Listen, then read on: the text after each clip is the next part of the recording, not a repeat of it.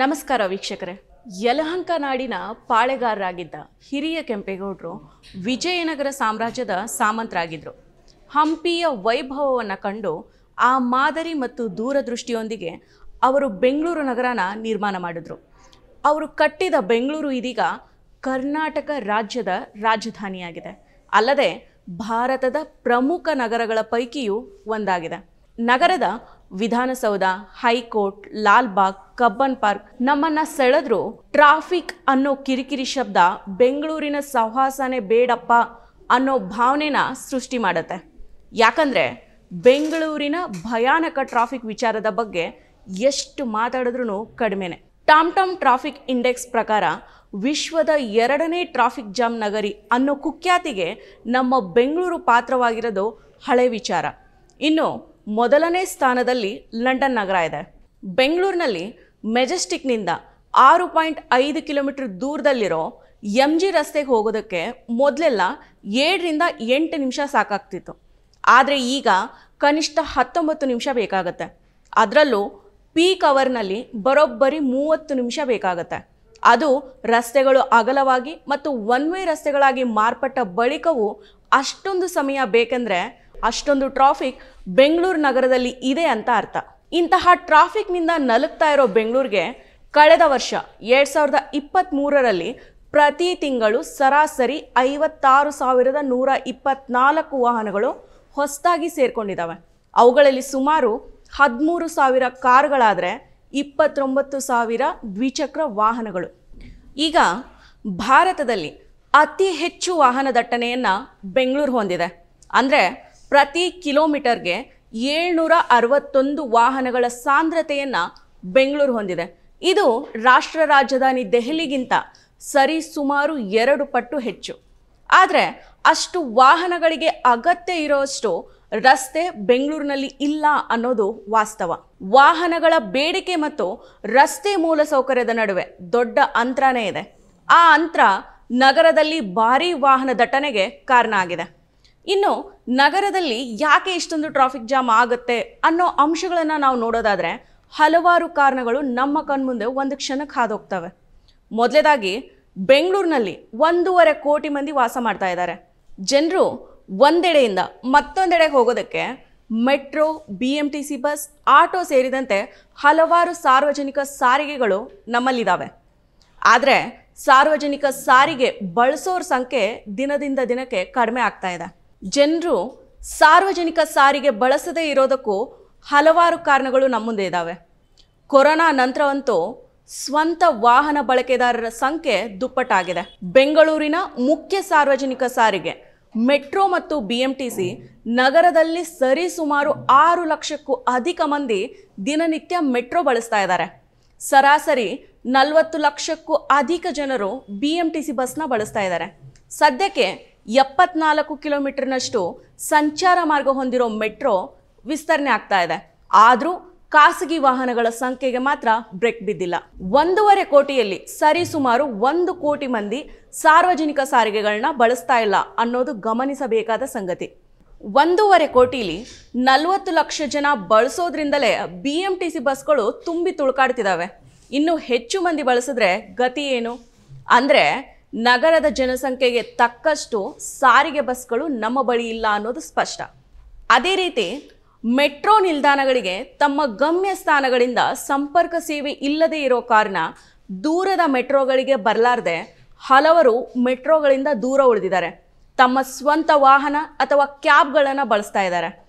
Metro B M T C ಅಲ್ಲದೆ ನಗರದಲ್ಲಿ ಎರಡು ಪಾಯಿಂಟ್ ಎರಡು ಲಕ್ಷ ಆಟೋಗಳು ಹಾಗೂ ಒಂದು ಪಾಯಿಂಟ್ ನಾಲ್ಕು ಲಕ್ಷ ಕ್ಯಾಬ್ಗಳು ದಿನನಿತ್ಯ ಸೇವೆನ ನೀಡ್ತಾ ಇದ್ದಾವೆ ಇದಲ್ಲದೆ ನಗರದಲ್ಲಿ ತೊಂಬತ್ತೊಂಬತ್ತು ಪಾಯಿಂಟ್ ಎಂಟು ಲಕ್ಷ ವಾಹನಗಳಿದ್ದಾವೆ ಆ ಪೈಕಿ ಎಪ್ಪತ್ತೈದು ಪಾಯಿಂಟ್ ಆರು ಲಕ್ಷ ದ್ವಿಚಕ್ರ ವಾಹನಗಳು ಇಪ್ಪತ್ತ್ಮೂರು ಪಾಯಿಂಟ್ ಒಂದು ಲಕ್ಷ ಕಾರುಗಳು, ವೈಯಕ್ತಿಕ ವಾಹನಗಳಿದ್ದಾವೆ ಇದೆಲ್ಲದರ ನಡುವೆ ಪೆಟ್ರೋಲ್ ಬೆಲೆ ಹೆಚ್ಚಳ ಸೇರಿದಂತೆ ಇನ್ನಿತರ ಕಾರಣಗಳಿಂದಾಗಿ ಜನರು ಎಲೆಕ್ಟ್ರಿಕ್ ವಾಹನಗಳತ್ತ ಮುಖ ಮಾಡ್ತಾ ಇದ್ದಾರೆ. ಎರಡು ಸಾವಿರದ ಇಪ್ಪತ್ತೊಂದರ ಬಳಿಕ ಎಲೆಕ್ಟ್ರಿಕ್ ವಾಹನಗಳ ಬಳಕೆಯ ಸಂಖ್ಯೆಯಲ್ಲಿ ಮೂರು ಪಟ್ಟು ಹೆಚ್ಚಳ ಆಗಿದೆ.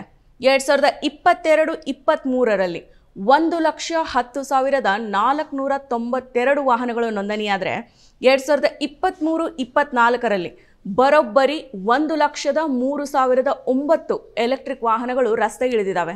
ಖಾಸಗಿ ಅಥವಾ ವೈಯಕ್ತಿಕ ವಾಹನಗಳ ಸಂಖ್ಯೆಯ ಹೆಚ್ಚಳದಿಂದ ಸಂಚಾರ ದಟ್ಟಣೆ ಹೆಚ್ಚಾಗುತ್ತಿರುವ ಸಮಸ್ಯೆ ಒಂದು ಕಡೆ ಆದರೆ ಇನ್ನೊಂದೆಡೆ ಸಂಚಾರ ನಿಯಮಗಳ ಉಲ್ಲಂಘನೆಗಳು ಕೂಡ ಹದ್ದು ಮೀರಿ ಹೆಚ್ಚುತ್ತಾ ಇದ್ದಾವೆ ಬೆಂಗಳೂರು ಸಂಚಾರಿ ಪೊಲೀಸರು ಬಿಡುಗಡೆ ಮಾಡಿರೋ ವರದಿ ಪ್ರಕಾರ ಎರಡು ಸಾವಿರದ ಇಪ್ಪತ್ತ್ಮೂರರಲ್ಲಿ ಹತ್ತು ಲಕ್ಷ ಕಡಿಮೆ ಒಂದು ಕೋಟಿಯಷ್ಟು, ಅಂದರೆ ಎಂಬತ್ತೊಂಬತ್ತು ಲಕ್ಷದ ಎಪ್ಪತ್ನಾಲ್ಕು ಸಾವಿರದ ಒಂಬೈನೂರ ನಲವತ್ತೈದು ಸಂಚಾರ ನಿಯಮ ಉಲ್ಲಂಘನೆ ಪ್ರಕರಣಗಳು ದಾಖಲಾಗಿದ್ದಾವೆ ಎರಡು ಸಾವಿರದ ಇಪ್ಪತ್ತ್ಮೂರರಲ್ಲಿ ಬೆಂಗಳೂರಿನಲ್ಲಿ ಒಟ್ಟು ನಾಲ್ಕು ಸಾವಿರದ ತೊಂಬತ್ತೈದು ಅಪಘಾತ ಪ್ರಕರಣಗಳು ದಾಖಲಾಗಿದ್ದಾವೆ.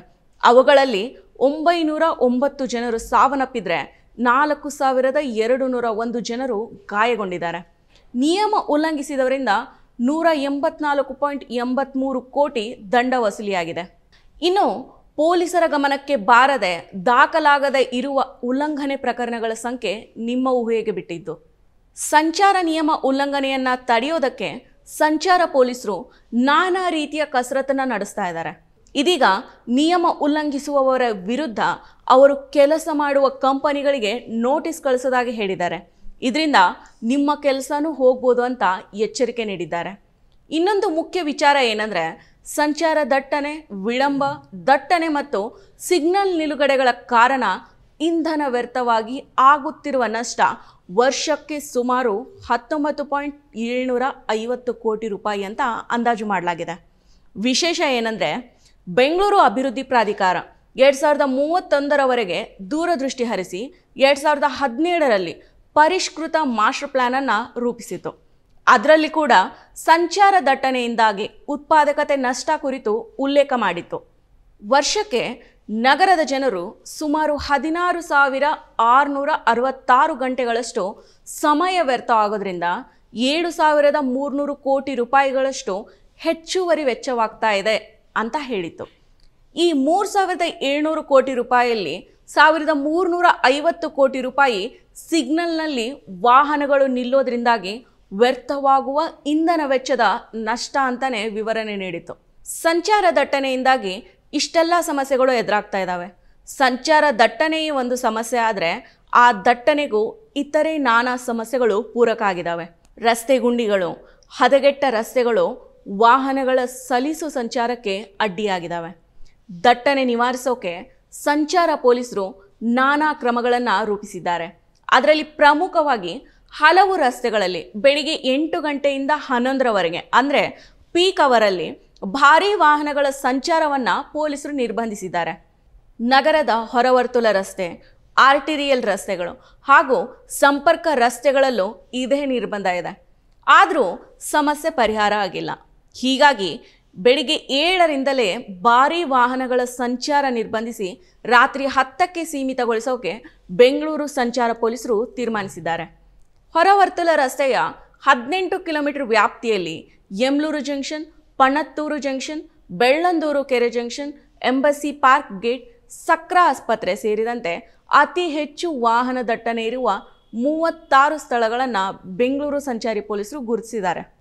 ಈ ಭಾಗದಲ್ಲಿ ಟ್ರಾಫಿಕ್ ಸಿಗ್ನಲ್ಗಳ ಅವಧಿ ತಗ್ಗಿಸೋಕೆ ಮತ್ತು ಪಾದಚಾರಿ ಮಾರ್ಗದ ಒತ್ತುವರಿ ತೆರವು ಮಾಡೋದಕ್ಕೆ ನಿರ್ಧಾರ ಮಾಡಿದ್ದಾರೆ.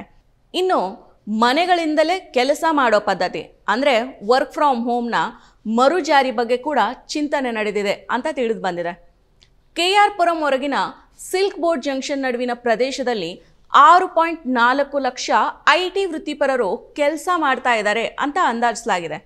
ಈ ಹಿಂದೆ ಜಾರಿಯಲ್ಲಿದ್ದ ಬಸ್ ಪೂಲಿಂಗ್ ವ್ಯವಸ್ಥೆಯನ್ನು ಸಾರಿಗೆ ಇಲಾಖೆಯ ನಿಬಂಧನೆಗಳ ಕಾರಣಕ್ಕೆ ರದ್ದು ಮಾಡಲಾಗಿತ್ತು. ಇದೀಗ ಮತ್ತೆ ಐ ಟಿ ಉದ್ಯೋಗಿಗಳ ಅನುಕೂಲಕ್ಕಾಗಿ ಕಾರು ಮತ್ತು ಬಸ್ ಪೂಲಿಂಗ್ಗೆ ಅವಕಾಶ ಕಲ್ಪಿಸುವ ಬಗ್ಗೆ ಚರ್ಚೆ ನಡೆದಿದೆ. ಮತ್ತೆ ಬಸ್ ಪೂಲಿಂಗ್ ಮತ್ತು ಕಾರ್ ಪೂಲಿಂಗ್ಗೆ ಅವಕಾಶ ನೀಡಿದರೆ ಐ ಟಿ ಕಾರಿಡಾರ್ನಲ್ಲಿ ವಾಹನ ದಟ್ಟಣೆ ತಗ್ಗಲಿದೆ ಅಂತ ನಿರೀಕ್ಷೆ ಮಾಡಲಾಗಿದೆ. ಟ್ರಾಫಿಕ್ ಸಂಬಂಧಿತ ಸಮಸ್ಯೆಗಳನ್ನು ಪರಿಹರಿಸೋದಕ್ಕೆ ಕರ್ನಾಟಕ ಸರ್ಕಾರ ಕೃತಕ ಬುದ್ಧಿಮತ್ತೆ ಮತ್ತು ರೋಬೋಟಿಕ್ನಂತಹ ತಂತ್ರಜ್ಞಾನ ಸಾಧನಗಳನ್ನು ಬಳಸಬೇಕು. ನಗರದ ಬೆಳವಣಿಗೆಗೆ ಹೊಂದಿಕೆಯಾಗುವ ರೀತಿಯಲ್ಲಿ ಬೆಂಗಳೂರಿನಲ್ಲಿ ರಸ್ತೆಗಳ ಯೋಜನೆ ಮತ್ತು ನಿರ್ಮಾಣಕ್ಕೆ ಹಲವಾರು ಟ್ರಾಫಿಕ್ ತಜ್ಞರು ಒತ್ತಾಯ ಮಾಡಿದ್ದಾರೆ. ಸಂಚಾರ ದಟ್ಟಣೆನ ನಿಯಂತ್ರಿಸೋದಕ್ಕೆ ಬಿಬಿಎಂಪಿ ಮತ್ತು ಸಂಚಾರ ಪೊಲೀಸರು ನಾನಾ ರೀತಿಯಲ್ಲಿ ಪ್ರಯತ್ನಿಸ್ತಾ ಇದ್ದಾರೆ. ಇನ್ನೂ ಅನೇಕ ಮಾರ್ಗಗಳು ಕೂಡ ನಮ್ಮ ಮುಂದೆ ಇದ್ದಾವೆ ಅದರಲ್ಲಿ ದೆಹಲಿ ರೀತಿಯಲ್ಲಿ ವಾರದಲ್ಲಿ ಮೂರು ದಿನ ಬೆಸ ಸಂಖ್ಯೆ, ಮೂರು ದಿನ ಸಮಸಂಖ್ಯೆಗಳ ಆವೃತ್ತಿಯಲ್ಲಿ ವಾಹನಗಳು ಸಂಚರಿಸುವಂತೆ ಸೂಚಿಸೋದು. ಪಾದಚಾರಿ ಮಾರ್ಗಗಳನ್ನು ಸುಧಾರಿಸೋದು ಮತ್ತು ವಿಸ್ತರಣೆ ಮಾಡೋದು.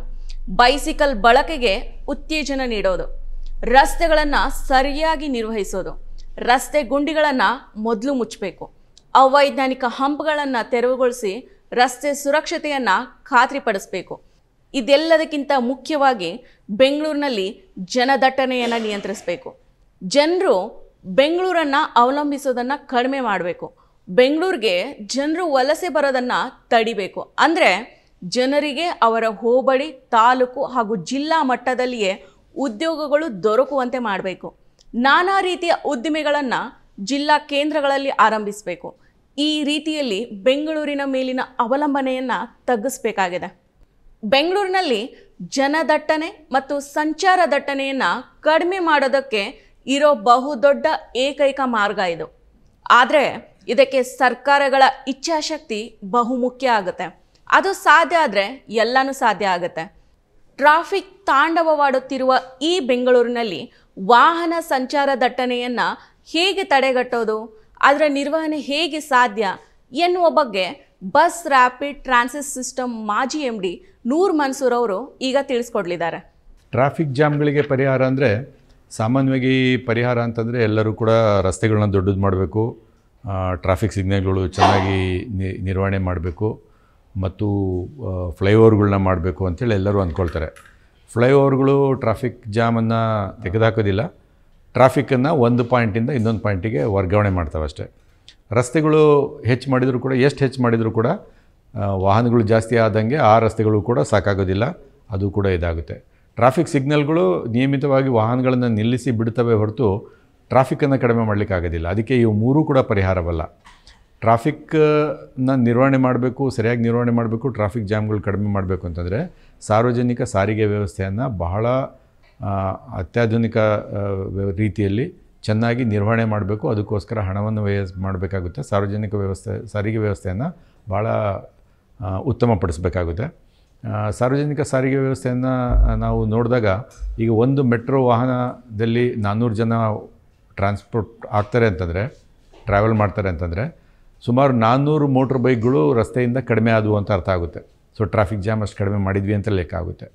ಅದೇ ರೀತಿ ಬಸ್ಸಲ್ಲಿ ಒಂದು ಅರವತ್ತೆಪ್ಪತ್ತು ಜನ ಟ್ರಾವೆಲ್ ಮಾಡಿದರೆ ಸಂಚರಿಸಿದರೆ ಸುಮಾರು ಅರುವತ್ತು, ಎಪ್ಪತ್ತು ಕಾರ್ಗಳು ಮತ್ತು ವಾಹನಗಳು ಟೂ ವೀಲರ್ಗಳು ರಸ್ತೆಯಿಂದ ಕಡಿಮೆ ಆಗ್ತವೆ ಅಂಥೇಳಿ ಹೀಗಾಗಿ ಸಾರ್ವಜನಿಕ ವ್ಯವಸ್ಥೆಯಲ್ಲಿ ಎಲ್ಲಿವರೆಗೆ ನಾವು ನಮ್ಮ ಜನಸಂಖ್ಯೆಯ ತೊಂಬತ್ತು ಪ್ರತಿಶತ ಜನರನ್ನು ಟ್ರಾನ್ಸ್ಪೋರ್ಟ್ ಮಾಡುವಂಥ ಒಂದು ಉತ್ತಮವಾದ ವ್ಯವಸ್ಥೆ ಮಾಡೋದಿಲ್ಲ.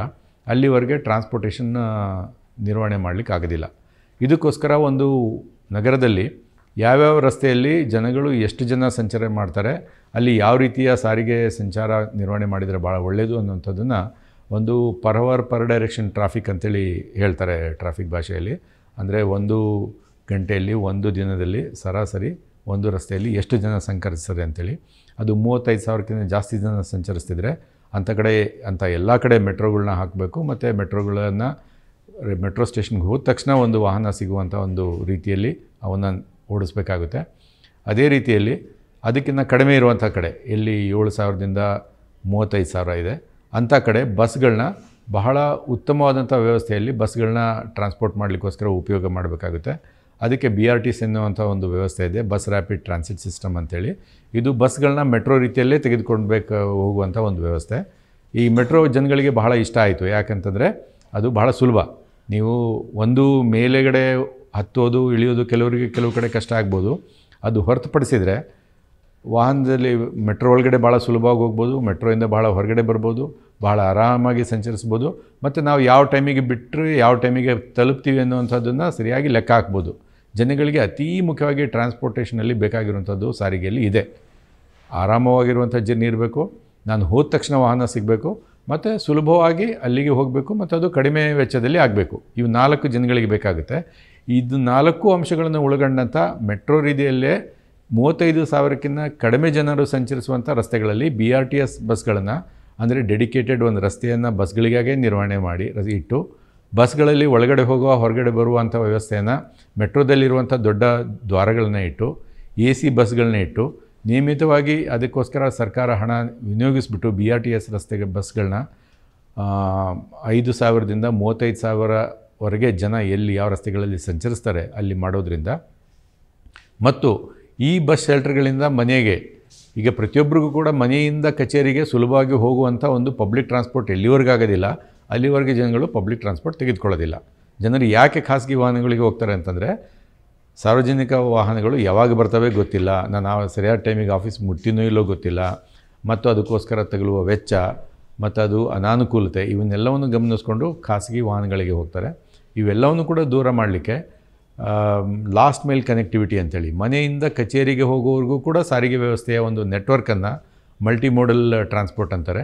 ಸಣ್ಣ ಸಣ್ಣ ವಾಹನಗಳು ಮನೆಯಿಂದ ಬಸ್ ಸ್ಟ್ಯಾಂಡಿಗೆ ಬರಲಿಕ್ಕೋಸ್ಕರ ಎಲೆಕ್ಟ್ರಿಕ್ ಸಣ್ಣ ಸಣ್ಣ ವಾಹನಗಳು ಮತ್ತು ಅಲ್ಲಿಂದ ಪಬ್ಲಿಕ್ ಟ್ರಾನ್ಸ್ಪೋರ್ಟ್ ಐದು ಸಾವಿರದಿಂದ ಹದಿನೈದು, ಮೂವತ್ತೈದು ಸಾವಿರದವರೆಗೆ ಇರುವಂಥ ರಸ್ತೆಗಳಲ್ಲಿ ಬಿ ಆರ್ ಟಿ ಎಸ್ ಬಸ್ಗಳು, ಅವು ಕೂಡ ಮೆಟ್ರೋ ರೀತಿಯಲ್ಲೇ ಎಲ್ಲ ಸಮಯದಲ್ಲೂ ಲಭ್ಯತೆ, ಎಲ್ಲ ಸಮಯದಲ್ಲೂ ತ್ವರಿತವಾಗಿ ತೆಗೆದುಕೊಂಡು ಹೋಗುವಂಥ ಬಸ್ಗಳು ಮತ್ತು ಅಲ್ಲಿಂದ ಎಲ್ಲೆಲ್ಲಿ ಬೇಕಾಗುತ್ತೆ ಅಲ್ಲಿ ಮೆಟ್ರೋ.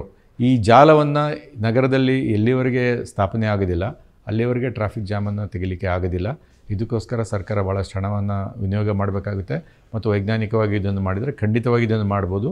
ಪ್ರಪಂಚದ ಬಹಳಷ್ಟು ರಾಷ್ಟ್ರಗಳಲ್ಲಿ ಇದನ್ನು ಮಾಡಿದ್ದಾರೆ ಮತ್ತು ಆ ರಾಷ್ಟ್ರಗಳು, ಅಂಥ ನಗರಗಳು ಬಹಳ ತ್ವರಿತ ವೇದ, ವೇಗದಲ್ಲಿ ಬೆಳೆದಿರುವಂಥದ್ದು ಕೂಡ ಈಗ ಸಾರ್ವಜನಿಕವಾಗಿ ಮಾಹಿತಿ ಲಭ್ಯ ಇರುವಂಥ ಒಂದು ವಿಷಯ.